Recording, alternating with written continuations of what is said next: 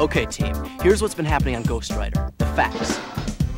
First, a fire burned out the back room of Mr. Brinker's store at 7 o'clock the same night Jamal delivered a note to Brinker. Then, Brinker accused Jamal, I betcha he's the one who burnt down my store.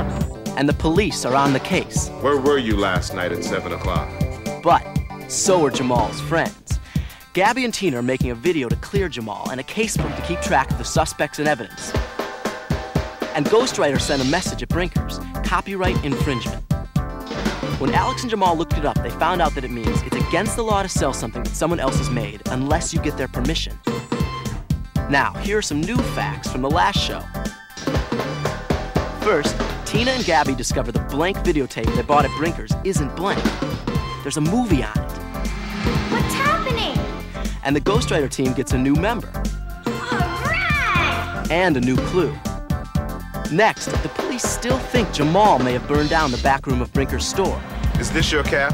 Yeah, it's, it's mine. I left that cap at Mr. Brinker's Friday afternoon, but I don't know how it got into that back room. So the team calls a rally to discuss the case. Maybe Mr. Brinker burned his store himself for insurance or something. He's got an alibi. He was at a school meeting at 7, remember? Then Ghostwriter shows up and things get really tense. Police arrest warrant. Jamal Jenkins. Guys, you've got to find out who did this, or I'm going to jail. Will Jamal take the heat? Or can the team figure out who really set the fire in time? Could it be the kid with the firecrackers Jamal saw outside Brinker's? Or Mr. Brinker himself? The team thinks he's got an alibi. And what about the man Jamal saw delivering boxes to Brinker's the night of the fire? Get a pencil in your casebook out and keep track of the clues, because the Ghostwriter team is on the case.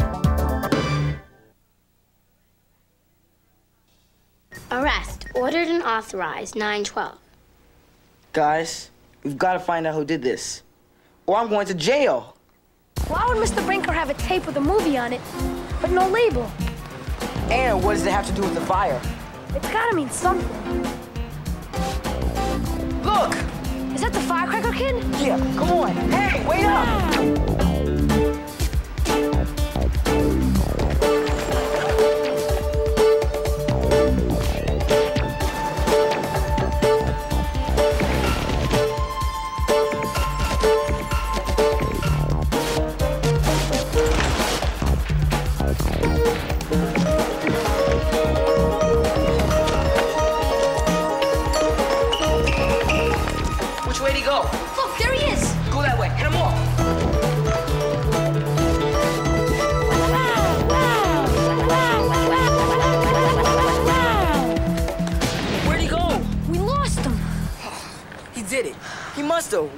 Run away? Come on, we gotta get Craig. He'll have some ideas. Okay.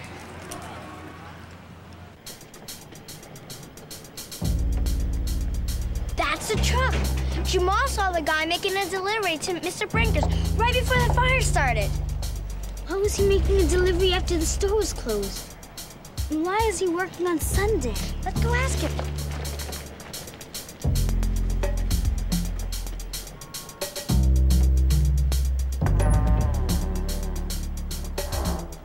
Sure, Brinker's a customer. Hey, yo, shoot from over there. You want my best side, don't you? No, we want to know what Mr. Brinker buys. This, these.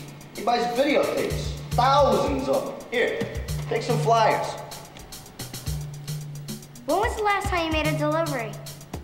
Friday night, just before his place burned. Why did you make a delivery at night? I always do. I got my own key and everything. Strange. He doesn't want me disturbing the customers. But I'll tell you ladies something that is strange. The guy owes me some serious bread. Like how much? How much? A lot. I hope you see this, Brinker, you deadbeat, because you are cut off. You don't pay me, you might find the rest of your store getting a little damaged, if you know what I mean. That video tape. It's just like the one Mr. Brinker sold me. But the one he sold you wasn't blank. It had a movie on it. What does that mean? I don't know. I think we have our culprit. Tony was at the scene of the crime when the fire started. And Brinker owes him a lot of money. I'll bet he set the fire because Brinker wouldn't pay up. I think we just finished our video. We think something illegal is going down in Brinkers. Has to do with uh, videotapes. That was supposed to be blank, but there's a movie on it. Hey, uh, you're the electronics expert. What do you think? I don't know. Hey, can you get me a look at Brinker's back room? Uh, that's risky. Is it important? It might be. Okay, I got an idea.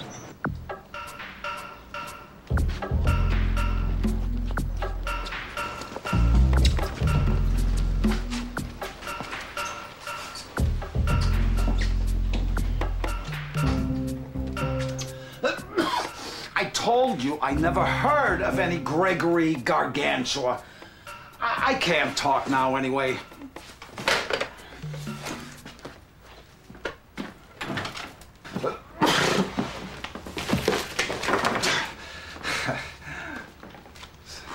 Here you go, number 243. That'll be 250 a night.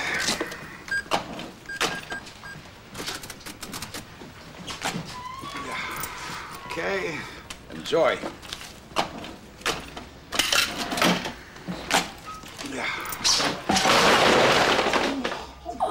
Gosh, Mr. Brinker, I'm so sorry. Well, how did that happen? I don't know. Don't tell my dad. I'll pay for it. Oh, don't hang on I'm that sorry. thing like. Well, give me a hand here. Come on, help me. All right. I just like. Well, don't cry about it. Just help me. Okay. Help me pick it up. Smells back here.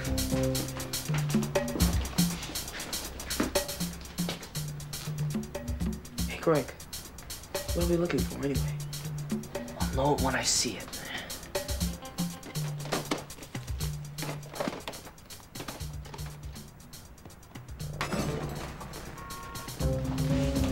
Oh, excuse me, Mr. Brinker. I'd like to rent all these movies. Oh, okay. Yeah. Okay.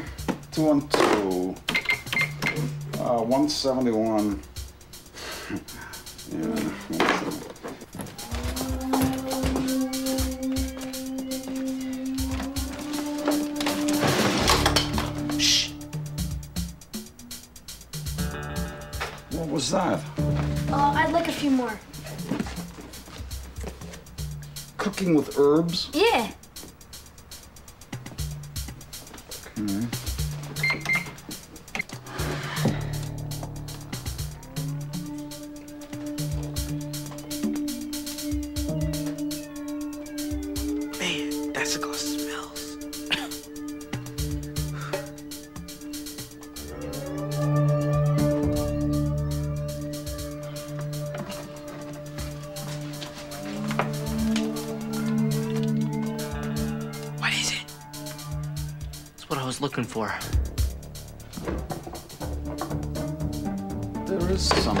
About my there. tapes? The tapes can wait.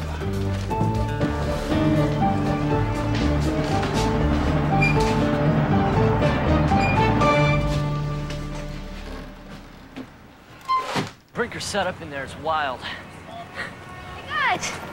You see anything? Uh, yeah. It's kind of suspicious. How could you tell?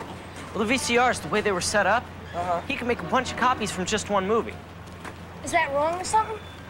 Well, if you take big time movies and you copy them and then you sell a lot of them, yeah, it is. But we got no proof of that. We only got that one tape Tina bought. So what's that got to do with the fire? I don't know.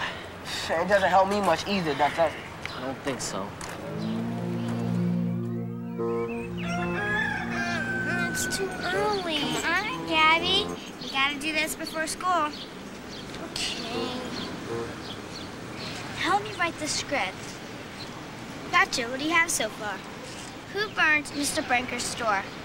We know, and the answer may surprise you. Let's start by setting the scene. Cool. Now, we need some words to describe the scene, the night of the crime. Why?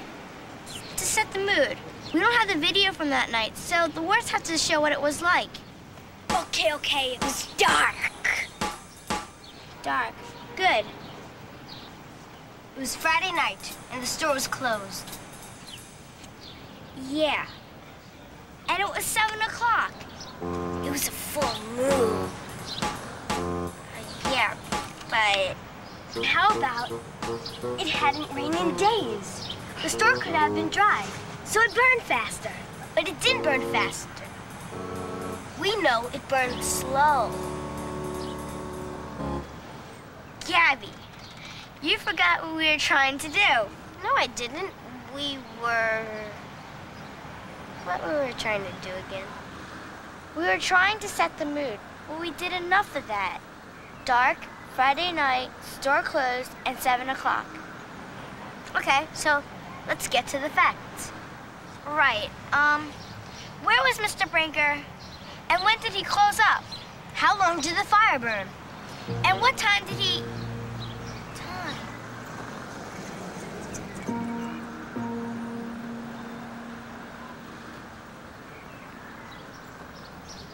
time did he what? Do you have a newspaper article about the fire? I gotta see it again. Brinker Electronics, the morning after. The fire knocked out power to the entire building. Yeah, what's up? Something strange. We gotta rally. We got school. Then we'll do it after school. Come on. Aren't you gonna shoot the opening? No. Because if I'm right, a lot of the things we said in the videos gotta change.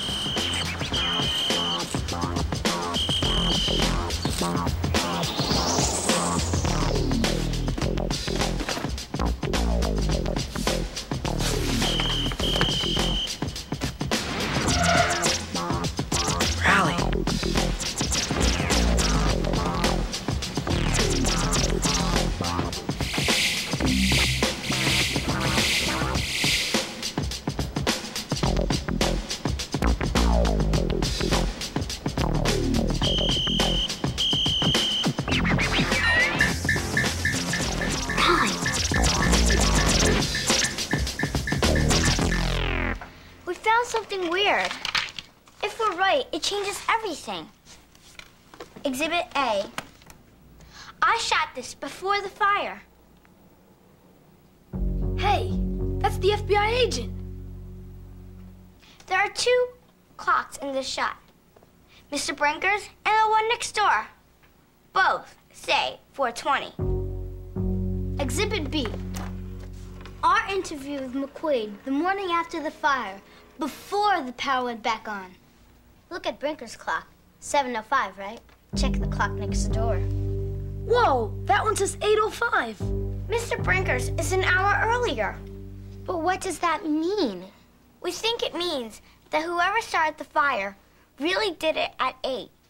Then set Mr. Brinker's clock back an hour so it looked like it started at 7. And that proves Jamal is innocent, because at 8 o'clock, he was home with his grandma. Yeah, right. Oh, yeah! At 7 o'clock, Friday night, Mr. Milo Brinker was speaking to the Hurston Elementary School parents group about Brinker's alibi. He was at the school at 7 when everybody thought the fire started. But if the fire started at 8, Brinker's alibi, it doesn't hold up. He could have set that fire himself. Why would he set his own store on fire? Ghostwriter wrote something strange. Remember, videos are key? When Craig and I checked out Mr. Brinker's back room, Craig found out that Mr. Brinker had a system to copy video cassettes. Copy videos, copy. Copyright infringement. It was on the letter from the FBI agent. Wait. FBI. Copyright infringement. Copying videos. We've all seen it. Hundreds of times. Hand me one of those tapes over there, Tina. Every movie you buy or rent has something like this. Federal law prohibits the duplication of copyrighted videos. That's it. Copyright infringement. What does that mean? Suppose I write a song. It's my song and only I can sell it. If somebody else sells it, it's like stealing. So if Mr. Brinker made copies of movies and sold them, it's like stealing from the movie makers. Here's proof. Mr. Brinker sold me one by mistake. I'll bet he burned the store to destroy the evidence. We got him. All right. Hold it. Hold it. No, we don't. Say what? Mr. Brinker burned all the evidence. All we have is one lousy little tape from Tina. That's not enough. But Mr. Brinker brought thousands of tapes. There's gotta be proof of that. Yeah, but where?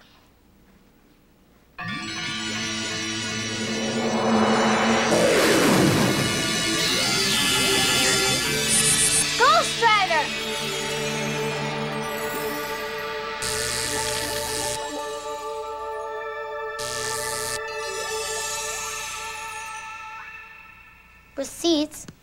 No way. Mr. Brinker's records burned up in the fire. What receipts? Man,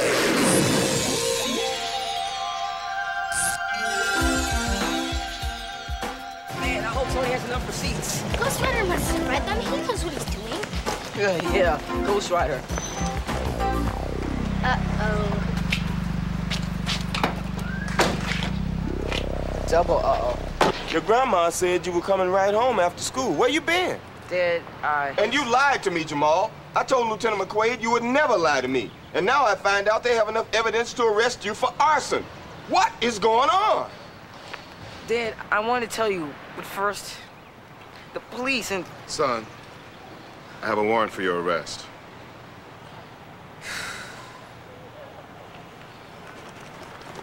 Lieutenant McQuaid, this is the note you've been looking for.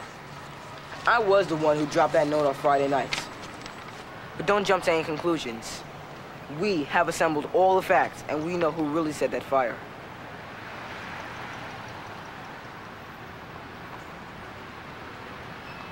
Excuse me, Mr. Brinker?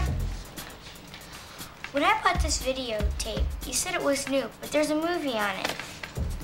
So? Somebody made a mistake. Or somebody made a copy of a movie. Do you do that here, Mr. Brinker? What? Hey, hey, where do you think you're going? Hey, you guys get out of here, or I'm calling the police. Got a receipt from Tony Central Park Video. It says that you bought 200 blind videotapes. What do you do with all those tapes, Mr. Brinker? Make copies of more movies, huh? 200 blank tapes. So what? I copy home movies for people? You gotta do better than that. Oh, we will. Mr. Brinker, we have proof that you've bought over 5,000 blank video cassettes. That's a lot of home movies.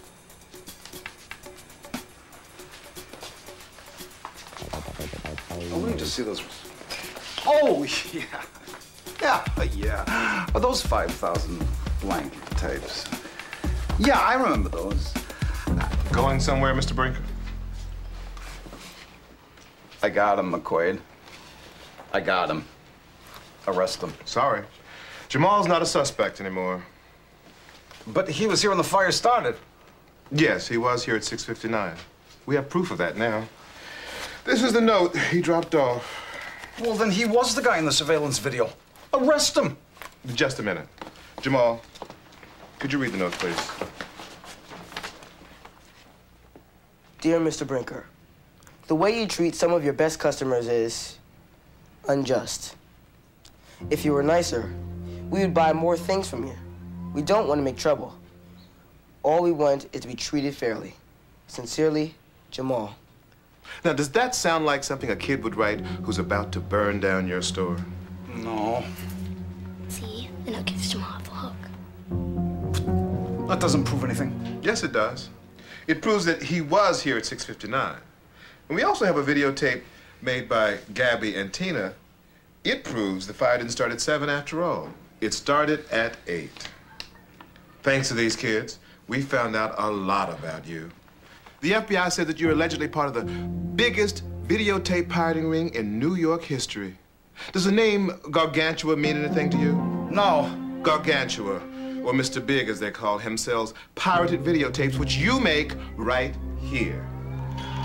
The FBI gave you a notice to testify against Mr. Big, and that same night, your store caught fire.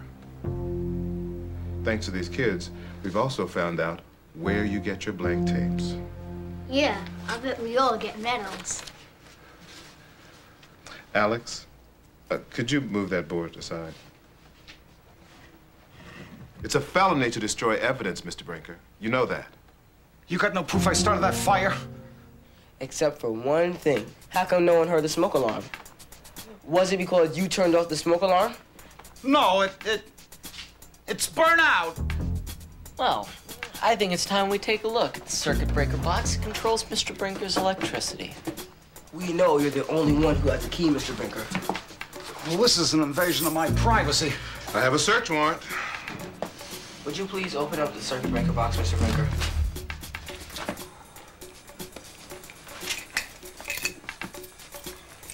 Okay, now, if the switch is on, then yeah, the alarm is burned out. But if it's off, that means he turned it off.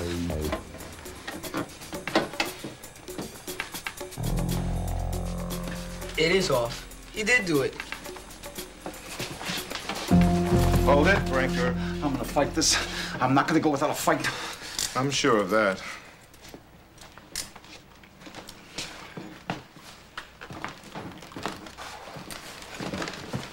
Yeah.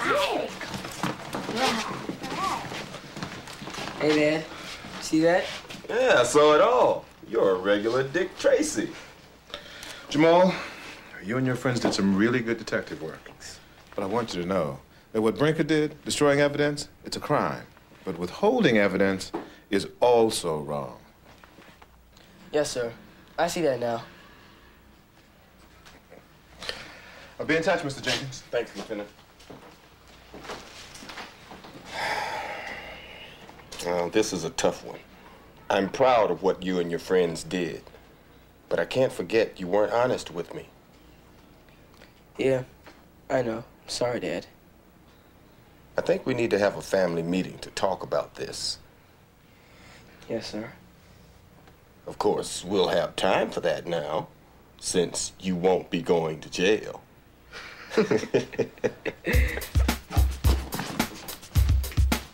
So in conclusion, it was these clues. The FBI agent, the movie on the videotape, and the thousands of blank cassettes Mr. Brinker bought that made us think he was copying movies. But it wasn't until we discovered the two clocks with different times that we figured out the fire was set at 8 o'clock, not 7 o'clock. Because of that, Mr. Brinker lost his alibi. The turned off smoke alarm was the final piece of evidence. So who burned Mr. Brinker's store? It was Mr. Brinker, and Jamal is innocent.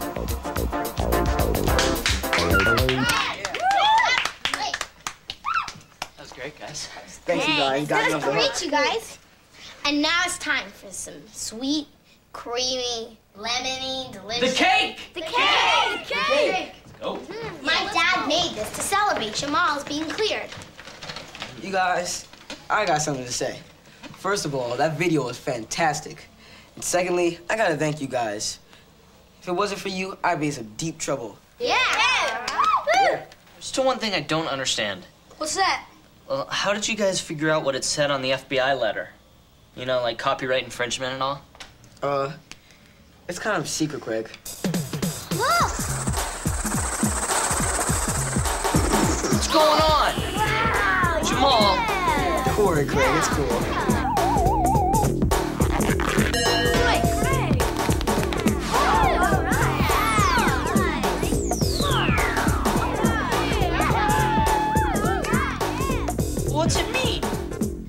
Means that you're on the team, and the adventure's just beginning.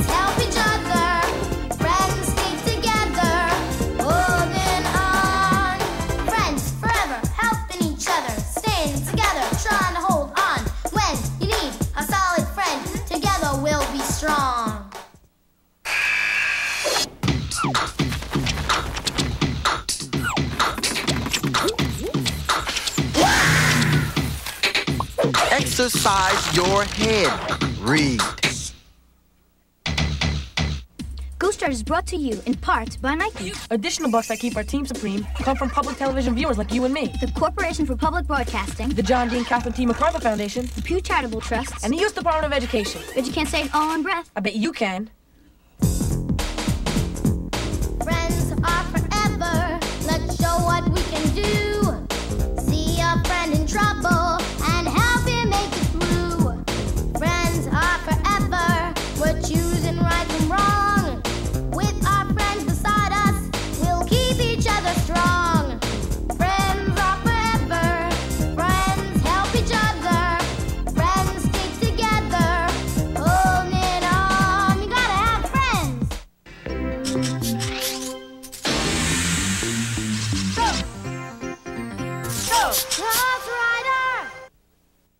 Ghostwriter was originally produced for the Public Broadcasting Service. Read more about Ghostwriter and the Ghostwriter team in these Bantam books.